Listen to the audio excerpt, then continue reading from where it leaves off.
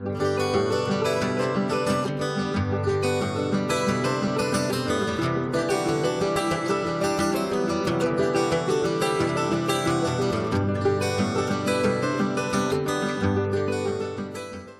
Здравствуйте, в эфире программы «Городские встречи». В гостях у меня сегодня Полина Шульгина, клинический психолог. Полина, здравствуйте. Здравствуйте, а, Наталья. Поговорим мы сегодня о созависимости. Вот скажите, во-первых, что это такое? Потому что воображение рисует, ну, на самом деле, массу всего, вот когда я, например, слышу это слово. Я с вами соглашусь, воображение действительно рисует большие картины.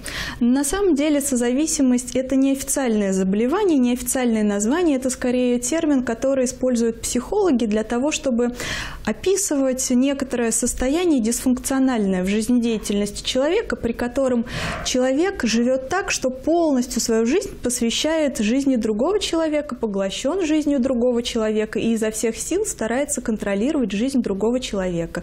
И что самое важное, при этом э, этот человек, которого называют созависимым, упускает важные потребности своей собственной жизни, теряет их и не реализовывает.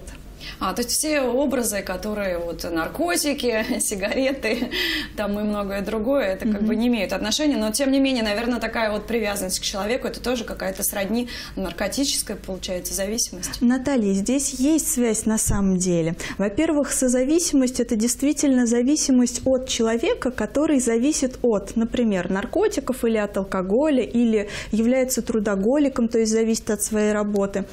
И такая система, где есть зависимые от, например, химического вещества, я имею в виду семейные системы или парные, любовные, или детско-родительская, например, дети алкоголиков.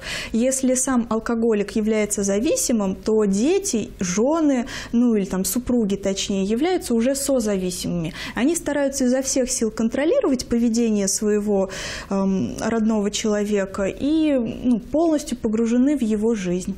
Ну вот если взять, например, там курение или что-то еще, то человек, в принципе, понимает, наверное, да, что он от этого зависит, и, наверное, ему приходят какие-то мысли в голову, mm-hmm. что а неплохо было бы от этой зависимости избавиться. Да. Но вот как здесь быть, это, наверное, сложнее все-таки, да, mm-hmm. вот отдать себе отчет, понять, что, ну все, ты зависишь от другого человека. Я согласна с вами, это действительно так. Зависимость от химического вещества, она более осознаваема, нежели зависимость от э, контроля жизни другого человека.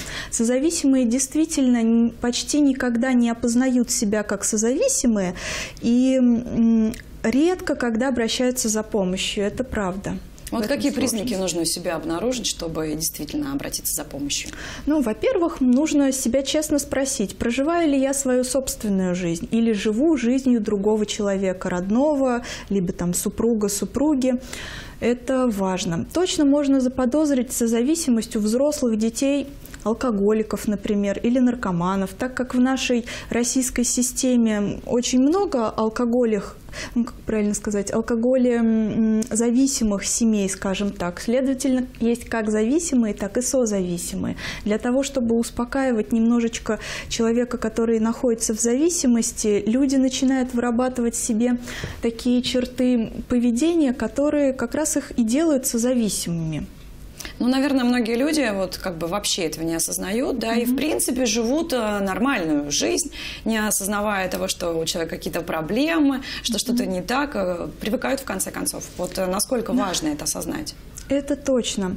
Тут слово «привыкание» очень метким является, потому что созависимость – это как уклад жизни. Это не то, что появилось и исчезло. Скорее, человек когда-то приспособился к этому и продолжает так жить постоянно. Для того, чтобы ну, задуматься о себе, являюсь ли там я созависимым или кто-то из моих родных созависимым, можно посмотреть на поведение, на то, как выстраивает ну, этот конкретный человек отношения с другими людьми. Хорошо ли он понимает и чувствует свои собственные потребности, может ли он их реализовывать, не ориентируясь на мнение других людей? А может ли говорить «нет» другим людям? Как сильно зависит его мнение о себе от мнения других людей о нем? Скажите еще, опять же, такая аналогия между там какими-то другими зависимостями, да? То есть, а, ну вот когда мы едим шоколад, вот я вот завишу, мне кажется, от шоколада, да, то есть в мозгу там выделяются эндорфины или что-то подобное, то есть получает человек удовольствие, да, и вот э, многие наши зависимости можно вот как бы объяснить именно вот с физиологической точки зрения, вот зависимость челов... Э, человеком от человека, она как-то вот объясняется? А, это скорее психологический термин. Не могу сказать, меняется ли психофизиология при этом, но точно психическое функционирование меняется точно и однозначно. Э, сам факт, что созависимый выбирает центром Вселенной и точно центром своей жизни другого человека, уже является изменением и нездоровым изменением на самом деле. Удивительно, что когда исчезает этот центр Вселенной, созависимый легко находит новый центр Вселенной, который снова будет выглядеть в каком-то другом человеке. Обычно люди созависимые ну, не делают себя созависимыми по доброй воле. Скорее, они пытаются поддержать некоторую иллюзию о себе таким образом, заслужить доверие, э, заслужить уважение, собственную самооценку поднимать таким образом, заботясь о другом человеке, реализовывая потребности другого человека, забывая о себе. То есть получается, что все-таки самое главное – это то, что человеку чего-то в себе не хватает. И да. Насколько важно вообще обращаться к психологу? Важно, во-первых, по двум моментам. Первый момент это тот момент, что даже если на психотерапию придет человек созависимый, например, родственник алкоголика, не сам алкоголик, будет меняться поведение созависимого, и как следствие поведение самого алкоголика тоже будет меняться. Следовательно, климат в семье изменится к лучшему. Это во-первых. А во-вторых, само отношение, самоотношение созависимого тоже будет меняться. Его самооценка подрастет. Он сможет отвечать э, людям «нет», например, в тех местах, местах, где это уместно отвечать. Наконец, сможет взять ответственность за свою собственную жизнь и точно начнет меньше контролировать. Ну, в идеале вообще перестанет контролировать жизнь другого человека, признает другого человека, там, члена семьи, либо партнера по любви эм, полноценным то есть способным взять ответственность за свою собственную жизнь. И тогда каждый будет при своей ответственности, при своей собственной жизни. Вот чаще женщины зависят от мужчин или мужчины от женщин? Но если брать какую-то такую поверхностную статистику, я скорее скажу пока что от себя, я, наверное, не располагаю статистикой, то да, конечно, женщины чаще являются созависимыми, ну а мужчины являются зависимыми.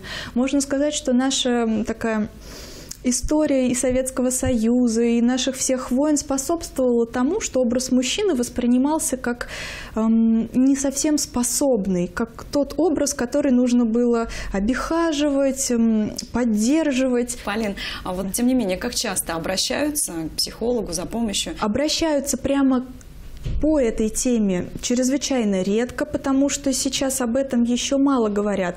Э, в нашей российской культуре стали много говорить о зависимом поведении. Очень много мероприятий, направленных на восстановление и реабилитацию наркоманов, алкоголиков и даже трудоголиков. В Москве даже распространены кружки для сексоголиков, скажем так, реабилитационные.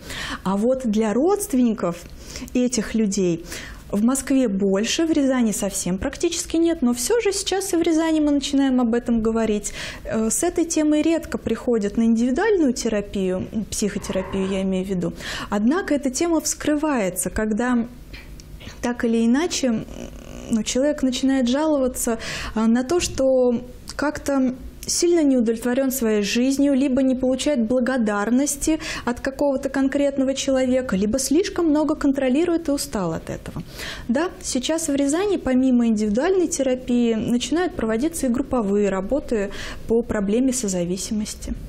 Ну и какой-нибудь самый главный совет – Самый главный совет для чего? А, для того, чтобы вот э, как-то найти проблему, решить проблему. Угу. Быть здоровыми. Да, отлично. Э, я считаю, что для того, чтобы быть здоровыми, во-первых, нужно хорошо уметь чувствовать себя, чувствовать свои потребности. Ну и как-то честно себе признаваться.